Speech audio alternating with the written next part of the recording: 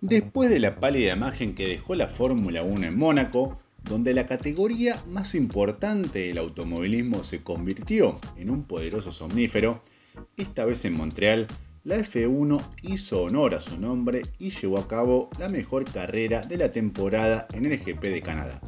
Y mediante una combinación de muñeca, estrategia y un consistente ritmo de Red Bull, Max Verstappen otra vez se mostró como un dominador. A continuación, todo lo relevante que dejó el GP de Canadá lo vas a vivir en este resumen para Grande Premio en Español.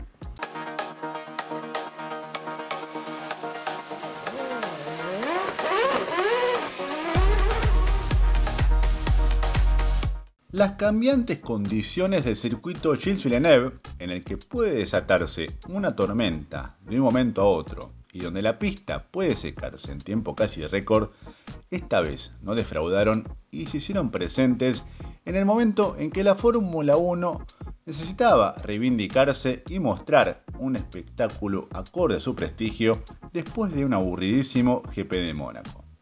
Y que prevaleció entre el sol y la lluvia, y entre lo seco y lo mojado del asfalto del circuito de Montreal, fue Max Verstappen, que alcanzó su sexta victoria de la temporada. En la previa, justamente Red Bull era el equipo que aparecía en segundo plano, frente al envión de Ferrari y la fortaleza de McLaren. Los altos pianos del circuito Gilles Villeneuve parecían ser el talón de Aquiles para un buen rendimiento del RB20, que sobre todo sufrió el viernes y que presagiaba otro fin de semana difícil para Verstappen, que desde hace algunas carreras debe luchar más de la cuenta para ser competitivo. Sin embargo, como muchas otras veces, el rendimiento de Red Bull apareció en el momento clave y a la hora de clasificar, Verstappen pudo resurgir y ocupar la primera fila frente a un sorprendente George Russell que aprovechó que Mercedes tuvo un ritmo de punta por primera vez en el año. En un desenlace atípico, los dos pilotos empataron su tiempo en 1 minuto 12 segundos, pero Russell se adjudicó la pole al haber marcado su registro con anterioridad. Ya para la carrera, una lluvia persistente lavó el circuito y motivó que la competencia comenzara con gomas intermedias. Como una excepción, Haas decidió largar con neumáticos de lluvia intensa y logró varias superaciones con Kevin Magnussen y Nico Hulkenberg. Sin embargo, el progresivo secado de la pista los hizo perder terreno y ambos debieron parar en boxes para retornar a los puestos del pelotón. La huella formada por los autos y un clima sin precipitaciones propiciaron que también se habilite el DRS, por lo que Norris pudo aprovechar la larga recta del circuito para superar a Verstappen y a Russell para adjudicarse transitoriamente la punta de la carrera. No obstante, un trompo del Williams de Logan Sergeant y la posterior salida del auto de seguridad terminaron por perjudicar al McLaren número 4 que solo pudo entrar a boxes una vuelta después que sus competidores y recién retornó a la pista en el tercer lugar después de Verstappen y de Russell. Este reinicio coincidió con un breve chaparrón que Ferrari trató de enfrentar colocándole gomas slicks a Leclerc. Y después de perder 40 segundos en pocas vueltas y quedar como último en la pista durante algunos giros, la escudería decidió retirar el auto del monegasco.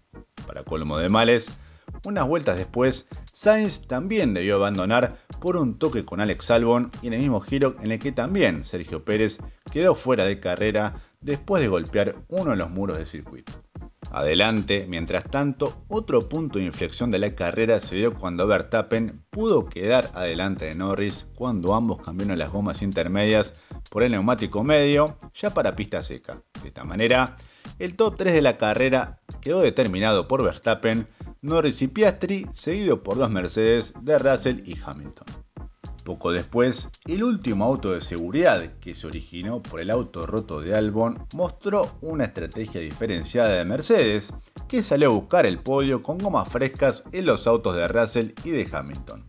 Aún con algunos errores y con maneras al límite frente a Piastri y a su propio compañero Hamilton, el ex piloto de Williams logró mostrar un mejor ritmo sobre el final para llegar al tercer lugar. De esta manera, Russell completó el podio por detrás de Verstappen y de Norris, después de que el piloto de Red Bull incrementara su ritmo en las últimas vueltas y fuera inalcanzable para el número 4 de McLaren. Así, la Fórmula 1 dejó Montreal con una imagen mucho más positiva que la que mostró en Monte Carlo, y con la novedad de que Mercedes puede convertirse en el cuarto en discordia frente a los buenos rendimientos de Red Bull, Ferrari y McLaren a lo largo de 2024. El próximo GP de España, en dos semanas, puede brindar más certezas sobre el real nivel de fuerzas entre las escuderías dominantes de la Fórmula 1. Si te gustó este video, dale like, deja tu comentario y hacele clic a la campanita para no perderte ningún video de Grande Premio en Español. Soy Esteban Nieto y nos estamos viendo en un próximo contenido. Un abrazo.